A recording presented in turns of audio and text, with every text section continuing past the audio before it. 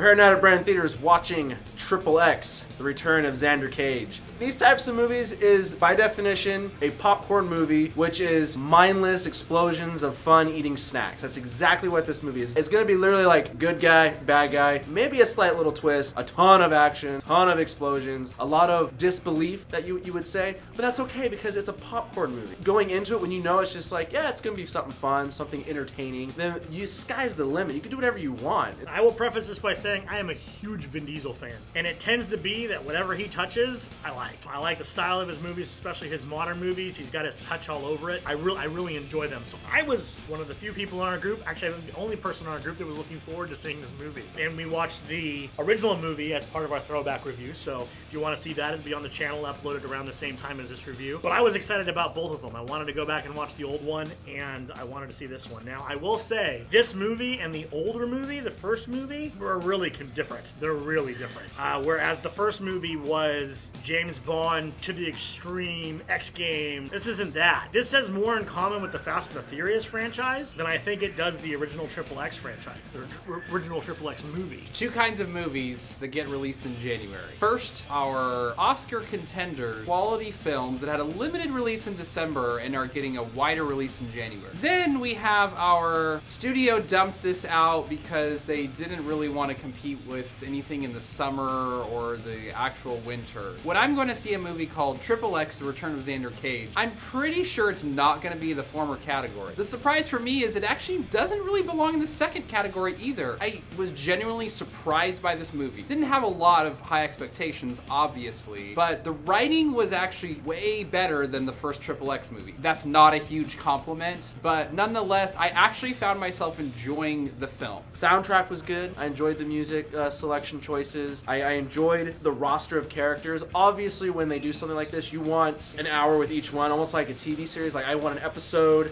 for each character to thoroughly flesh them out, but you're not going to get that. You're going to get kind of like, here are some bullet points, here's what they can do. Now we're going to put them in the fray so you can see what they can do. Each character they showed, and there were a lot of them. I liked every one of them. Their personality, even the ones that didn't get a whole lot of time on camera, I enjoyed the character. I wanted to see more of the character, and that's the key to this kind of movie. When you have an ensemble movie where, you know, everybody's coming together to save the world or whatever it might be, you want interesting characters. That's the key. If the, the characters are interesting and they mesh well together, then that carries the movie. I'm not saying this movie had an excellent story. I'm not saying this movie was particularly well acted. I'm not saying that some of the lines weren't extremely cringeworthy and cheesy, but that's just what this movie is. If you saw that they were making another Triple X movie and you're like, that's gonna have a really intelligent plot, you probably didn't understand what Triple X is really about. This is supposed to be kind of a cheesy, just fun romp. Just go in, turn your brain off, enjoy the action, enjoy the jokes, and just strap yourself in. That's the whole concept behind this movie. The three main characters of the film are actually the brightest spots. Of course, we've got Vin Diesel, the lead female actress whose name I definitely am not going to pronounce correctly no matter how I try. Donnie Yen from Rogue One, really incredible, super exciting to watch him, his action in this film. Took me back a little bit to almost like Jackie Chan uh, era, but a little more hyper. Really enjoyed that. Toni Collette playing a little bit different character here as our sort of government agent.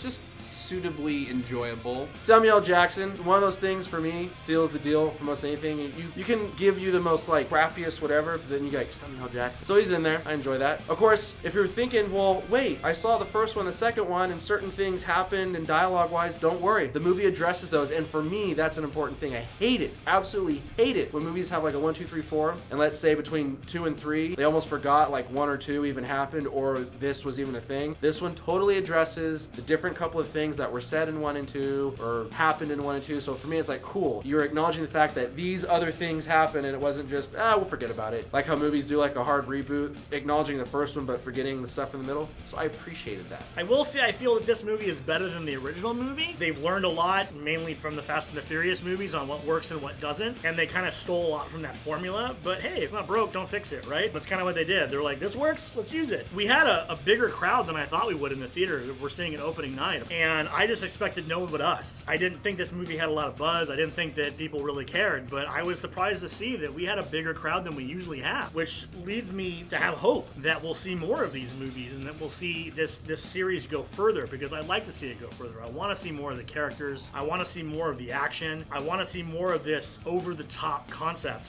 where every single stunt done could never happen in real life, but no one cares. A good example of kind of the idea of this movie, so you're you're going into the right mindset. After the movie, we were kind of having fun poking plot holes in it, and it didn't really matter. It didn't really bother any of us. It's not that kind of movie that you really that sweating the details. It was just kind of fun to, to explore around the movie after the fact. A lot of things you're probably going to see coming. Again, didn't bother me because it was a pretty fun romp. The characters are wacky, crazy, pretty interesting. Doesn't mean there aren't also some super annoying cliches. We've got the bespectacled, frizzy, long-haired, ditzy, klutzy girl that's the tech person that's too afraid of guns and the bad guys. We have the biker chick sniper with the short purplish blue hair that talks a little dirty. It can great. So with all that said, I might be slightly a little generous with this score, but I'm gonna give it a 7 out of 10. I enjoyed it. I had fun watching it. If I had another group of friends that wanted to go see it or just to waste time and eat some snacks and watch explosions and gunfights, absolutely. It's not like it's an award-winning thing. It's not like it's one of those movies that's gonna change your life. It's just fun.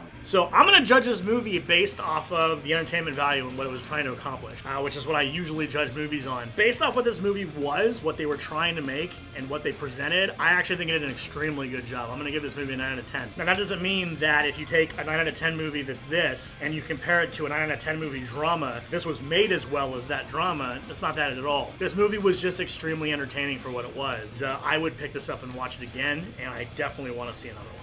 Really, the worst parts of the film are sort of the same as the worst parts of the original Triple X film. It kind of feels like you're at a tattoo convention and everyone is just showing off like how many they have, and that's what makes them so cool. And in order to do that, everybody has to wear like no clothing at all. Pretty much, you've got scantily clad women in every inch of the screen for 90% of the film. Not exactly the most empowering female presentation, I would add. It just gets kind of old with that. All told, I did enjoy this movie. I did have a fun time. There were downsides, of course, so it's not a total recommendation. Overall, 7 out of 10 for me. Favorite this video, like it, hit that subscribe button for more reviews like this, plus throwbacks, unboxing videos, Pokemon card things. Soon I'm gonna test some blind pack toy things just to see. Do that, you get to see it all unfold before your very eyes. Great year, a lot of stuff planned. Question for you this week, what is your favorite Vin Diesel movie? So curious to know what you think is your best favorite Vin. And remember,